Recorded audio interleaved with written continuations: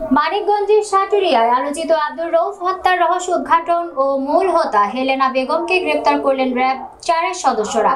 এ বিষয়ে বৃহস্পতিবার বিকেলে সংবাদ সম্মেলন করে র্যাব চার, সিপিসি তিন এর company commander lieutenant commander Mohammad Arif Hossain জানান, গ্রেপ্তারকৃত আসামি ও মৃত আব্দুল রৌফ পাশাপাশি গ্রামের বাসিন্দা ছিলেন। প্রায় চার বছর আগে হেলেনা বেগমের স্বামী শামসুল হক মারা যায়।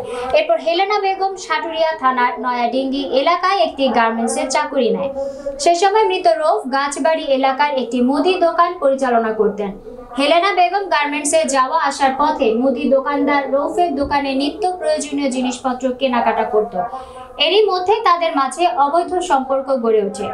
এক পর্যায়ে তাদের অনৈতিক সম্পর্কের বিষয়টি জানাজানি হলে তাদের মধ্যে দ্বন্দ্ব ও মনোমালিন্যের তৈরি হলে গত বুধবার বিকেল থেকে রৌফকে হত্যার পরিকল্পনা করে হেলেনা বেগম।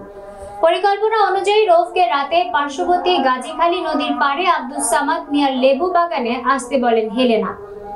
এরপর রাত এগারোটার দিকে রোফ লেবু বাগানে আসলে পূর্ব পরিকল্পনা অনুযায়ী ঘনিষ্ঠ হওয়ার মাঝেই শীতবস্ত্র দিয়ে মুখ চেপে ধরে শ্বাসরোধ করে আব্দুর রৌফের মৃত্যু নিশ্চিত করেন হেলেনা। বৃহস্পতিবার সকাল সাতটার দিকে স্থানীয় লোকজন মৃতদেহটি দেখে সাটুরিয়া থানায় খবর দেয়। পুলিশ ঘটনাস্থলে উপস্থিত হয়ে মৃতদেহের সুরতহাল প্রতিবেদন প্রস্তুত করে মৃতদেহ মর্গে পাঠায়।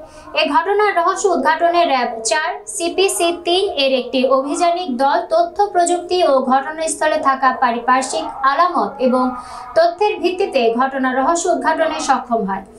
ঘটনার সাথে জড়িত অভিযুক্ত হেলেনা বেগমকে সাটুরিয়া থানার নয়াডিঙ্গি এলাকা থেকে গ্রেপ্তার করে জিজ্ঞাসাবাদ করলে সে ঘটনার দায় স্বীকার করেন। নিহত রৌফ সাটুরিয়া উপজেলার গাছবাড়ি এলাকার মৃত নাসির উদ্দিনের ছেলে। Rahim.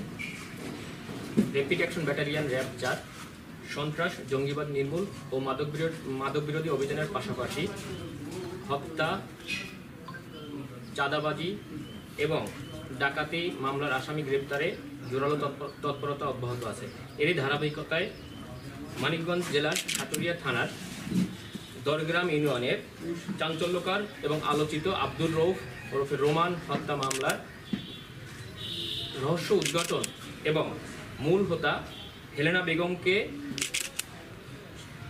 মানিকগঞ্জের সাটুরিয়া থানাধীন নয়াডিঙ্গি এলাকা এলাকাতে গ্রেপ্তার চাকরি করে এবং ভিকটিম আব্দুর রৌফ দরগ্রাম থেকে সাটুরিয়া থানা এলাকার রাস্তায় একটি মুদি দোকানে বেচাকেনা করত। এরই সূত্র ধরে ভিকটিম, ভিকটিমের দোকান থেকে আসামি হেলেনা বেগম মুদি মনোহরি কেনাকাটার সূত্র ধরে তাদের সাথে সম্পর্ক গড়ে ওঠে এবং এই সম্পর্ক একসময় হচ্ছে আহ, ঘনিষ্ঠ হয় এবং তাদের মধ্যে অনৈতিক সম্পর্ক গড়ে ওঠে। এরই সূত্র ধরে তাদের মাঝে হচ্ছে যোগাযোগ থাকে এবং আসামি হেলেনা বেগমের বাড়িতে ভিকটিম আব্দুর রৌফ নিয়মিত যাতায়াত করত। এই ঘটনা হেলেনা বেগম লোকলজ্জার ভয়ে, জানাজানি হওয়ার ভয়ে সে আসামিকে বলে যে সে এই সম্পর্ক কন্টিনিউ করবে না। এরই সূত্র ধরে তাদের মধ্যে হচ্ছে মনোমা থানা পুলিশ এবং র্যাবকে খবর দিলে থানা পুলিশ এবং র্যাব ঘটনাস্থল পরিদর্শন করে। এরই সূত্র ধরে র্যাব চার সিপি থ্রির একটি চৌকস আভিযানিক দল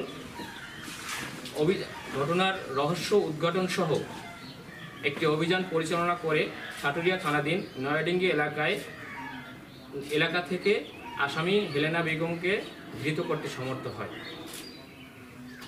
পরবর্তী আইনগত প্রক্রিয়া, প্রক্রিয়ার জন্য আসামি হেলেনা বেগমকে সাটুরিয়া থানায় প্রেরণ করা হবে। ধন্যবাদ সবাই- সবাইকে।